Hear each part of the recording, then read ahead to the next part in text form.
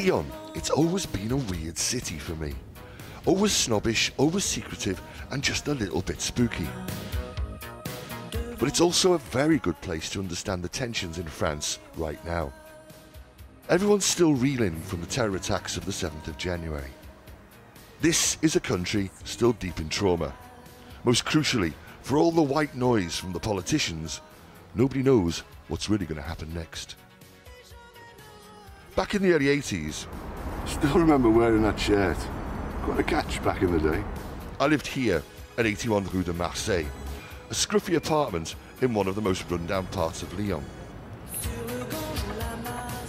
Even back then, as a young student freshly arrived in France from Liverpool, I had the sense that this was a very deeply weird place. When I first got here, it was a shock. I'd just come from Manchester University and I was used to listening to the Smiths and a certain amount of beery left-wingery. But here, it was like going through the looking glass. It seemed to be the norm to hate Jews, blacks and Arabs. But if I was shocked by the racism of the students, it suddenly got worse. What I didn't know, but then I slowly learned, was that this was a hotbed of negationism. In other words, a whole load of the teachers here were all about propagating Holocaust denial. This is Dieudonné. He's not only one of the most popular comedians in France, he's also notorious as the fella who promotes the quasi-fascist salute called the Canal. Dieudonné's played a big role in making racial hate acceptable in France. Here's one of his sketches taking the mickey out of Holocaust survivors. Note the Jewish skullcaps. Je suis juif par euh, ma mère. The man sitting next to Dieudonné is Robert Forisson. Astonishingly, he was a former professor of literary theory at the University of Lyon. Je sais que vous avez perdu 172 personnes de votre famille. Je comprends donc cette émotion qui vous étreint très fort. Excusez-moi. Forisson is notorious as a négationniste. This is the French word for Holocaust denier. With Forisson as his sidekick, Dieudonné has been transmitting Holocaust denial as an acceptable belief amongst his mass public. Dieudonné's public is in the banlieue. Ce qui est affligeant, c'est pas Dieudonné, c'est tous ceux qui se précipitent pour assister au spectacle de Dieudonné. Il a tourné en dérision les Juifs et la Shoah. It's effectively a crime in France to deny the Holocaust. So what Dieudonné is really doing is testing the limits of free speech in France. He's been on trial for posting this message ridiculing the victims of January's attack.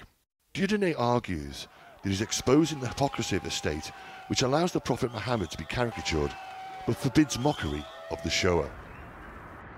Lyon in particular has never been a good place for Jews, but it's never been so bad for a long time.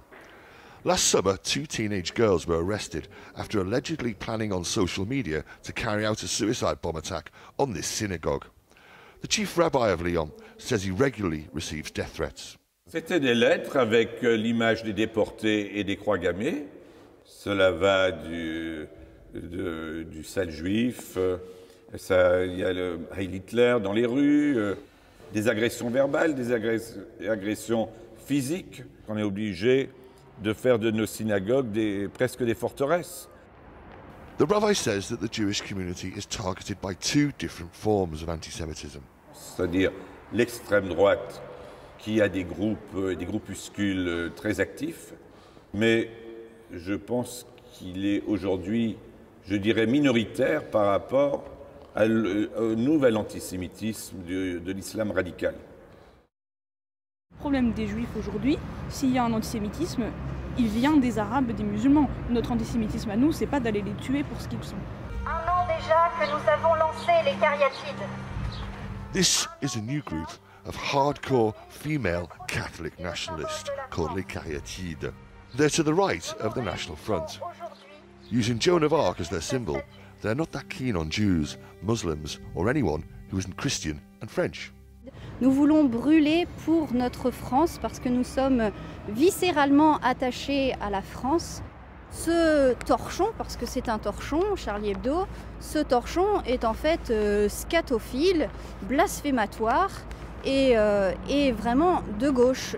Et donc, euh, ironie du sort, ces hommes qui étaient donc des antiracistes notoires euh, sont morts par euh, bah, finalement euh, l'invasion, euh, immigration.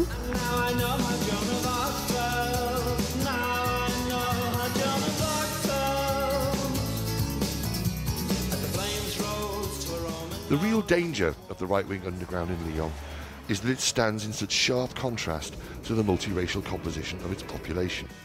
I head out to the suburbs, the so called sensitive areas of Lyon, to Les Manguettes in Vénissieux.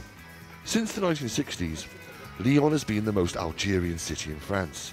This was the population that came here after the Algerian War of Independence. Mourad Ben Shalali, the son of Algerian immigrants, grew up here.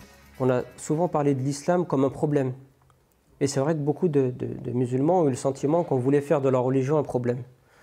Et que on ne pouvait pas, ils se sont fabriqués la conviction qu'on ne pouvait pas être un bon français si on était à la fois musulman. Et que euh, dans l'identité française, l'islam n'avait pas sa place. At the age of 19, Murad ran away to Afghanistan, and a few months later, he ended up in Guantanamo prison, a suspected terrorist.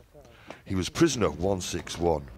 Released after four years, he then spent another year in the French prison of Fleury.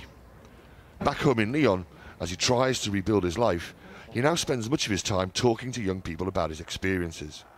Je leur raconte mon histoire, c'est tout. Je leur raconte mon vécu. Euh, je ne juge pas personne d'ailleurs. Moi, je ne suis pas dans le jugement. Même ceux qui partent aujourd'hui pour la série, je ne les juge pas. Simplement, je leur dis qu'ils sont dans l'erreur, que c'est une erreur de parcours, que ce n'est pas une bonne idée d'y aller. Et je leur explique pourquoi. Ils vous écoutent alors Oui, ils m'écoutent parce que la symbolique de Guantanamo est très forte. A lot of the people Morad talks to are thinking about Syria. Moi, j'ai parlé avec des mamans dont les enfants sont en Syrie. Euh, des mamans aussi dont certains m'ont dit bah, Tiens, mon fils veut partir, ma fille veut partir. Donc j'ai pu discuter avec eux. Et ces gamins me disent qu'ils se, sentent ils se sentent abandonnés, ils ont besoin qu'on leur parle. Beaucoup de jeunes qui disent euh, ils se sentent mal, c'est un mal à l'aise, un mal-être souvent de cette jeunesse.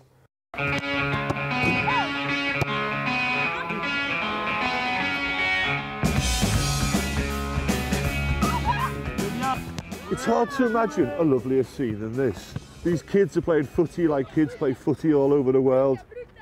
But down there in Lyon, discrimination and racism come sooner or later to everybody with an Arabic name. How long before these kids run into that invisible wall? Vous êtes supporter de Barcelona or Real Madrid?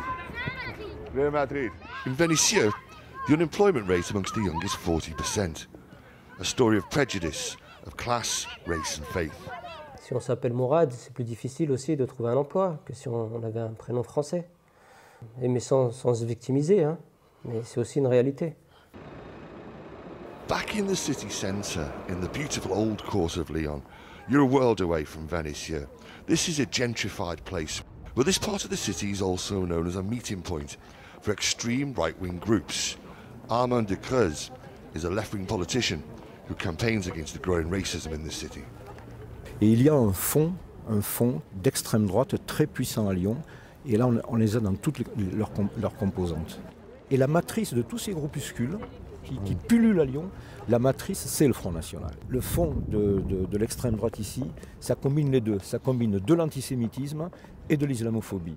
Il faut former la jeunesse, l'éduquer dans cette compréhension que le juif n'est pas l'ennemi des musulmans et que les musulmans devraient pas être les ennemis des juifs. Ils voient dans tout juif un soldat israélien qui attaque Gaza. Aujourd'hui, euh, on essaye aussi de euh, diviser les gens, diviser les communautés. Je ne pense pas que ce soit une bonne chose. Simplement, je pense que on a tous une part de responsabilité là-dedans. I end my journey in Fourvière, the cathedral whose silhouette dominates the Lyonnais skyline. And what have I learned coming back here 30 years on? I think it's all to do with what you might call a politics of atmosphere. In other words, this is a place of conflicted and conflicting identities. It's as if the French universal theory of liberté, égalité, fraternité just doesn't fit all of its citizens in the 21st century. And Lyon is living proof of that. The French Republic's been under assault since the 7th of January, not just by terrorists with Kalashnikovs, but also by older, equally dangerous ideas. It's as if the poison in French history is now seeping into daily life.